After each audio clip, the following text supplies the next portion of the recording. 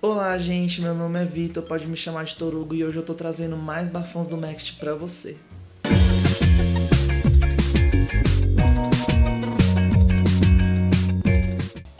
Eu vou trazer hoje para vocês uma informação que eu não trouxe no começo, mas que é bastante importante para você saber se você pode ou não participar do Next. Então, você tem que saber quais são os requisitos básicos para você participar do Next. Eu vou ler aqui para vocês é, os requisitos que tem na, no próprio site da embaixada do Japão no Brasil. Primeiramente, você tem que ser de nacionalidade brasileira. Isso exclui os candidatos que têm dupla pessoa. Isso exclui os candidatos que têm dupla nacionalidade japonesa. Outro requisito é: você tem que ter nível superior completo ou apto a se formar até junho de 2021. Isso me faz lembrar que eu tenho que informar vocês também que esse processo do MEC 2021 é, ele não vai funcionar como normalmente funciona. O que, que eu quero dizer com isso? É que normalmente a seleção do MEC ocorre em maio, a partir de maio, para você ir para o Japão em abril ou setembro. Nesse processo, que vai começar em setembro agora desse ano, Provavelmente. só tem uma opção, você só pode ir em setembro do ano que vem, a partir de setembro de 2021. Então fiquem ligados nisso também. Outro ponto é que você tem que ter idade até 34 anos de idade. Ou seja, você pode completar 34 anos até o dia 1 de abril de 2021. É necessário também que você tenha conhecimento avançado ou da língua inglesa ou da língua japonesa. Este tipo de conhecimento ele é um requisito da, do processo porque você vai precisar de uma dessas línguas para poder fazer sua pesquisa lá no Japão. É, alguns laboratórios e universidades conseguem ter programas internacionais que vão dar suporte a aulas e pesquisas somente em inglês, mas é importante também que você saiba um pouco de japonês, porque você, afinal de contas, você está indo para um país estrangeiro O Japão, no caso.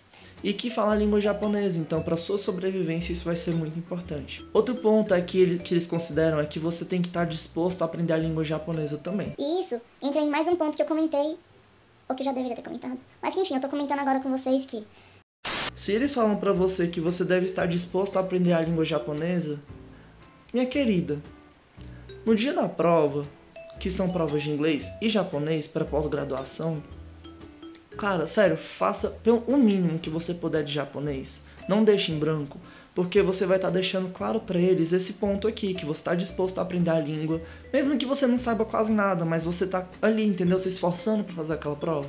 Então, faça isso, pelo seu bem.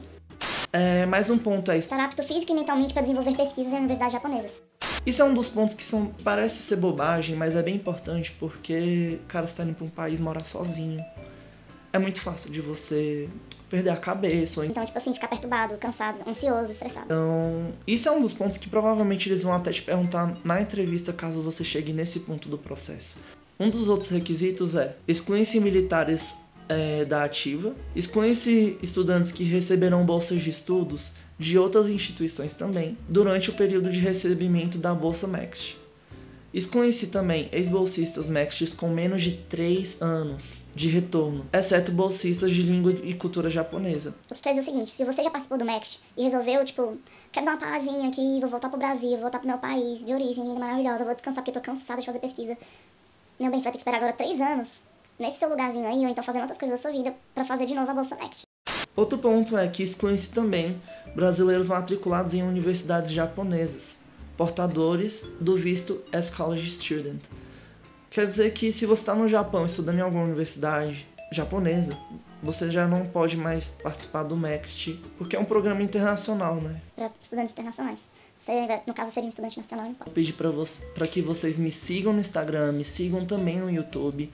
Em dia 2 de julho vai rolar uma live sobre como preencher o formulário de inscrição do MEXT para pós-graduação. Eu vou também estar indicando alguns outros canais que eles também dão dicas e em relação a essa parte de preencher formulários e outras coisas também do MEXT. Então fiquem ligados nessa live, venham participar. Se você já participou do MEXT também, vem participar para ajudar a gente, dando seus comentários e falando sobre como foi para você esse processo de preenchimento também, ok? Então é isso, pessoal. Muito obrigado por terem tomado esse tempinho de vocês para ver esse vídeo.